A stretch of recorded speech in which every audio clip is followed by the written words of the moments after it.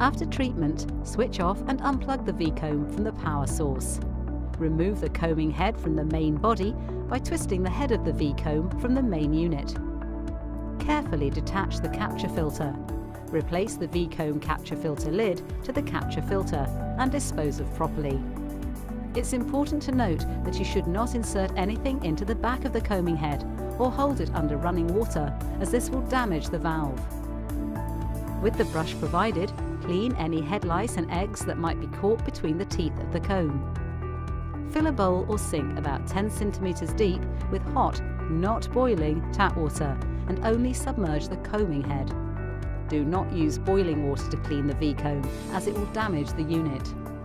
The ideal water temperature is 60 degrees Celsius. Do not submerge the main body of the V-comb, it will cause damage to the device. Remove from the water and dry thoroughly. Do not shake the combing head as it may damage the valve. Do not soak for more than 5 minutes.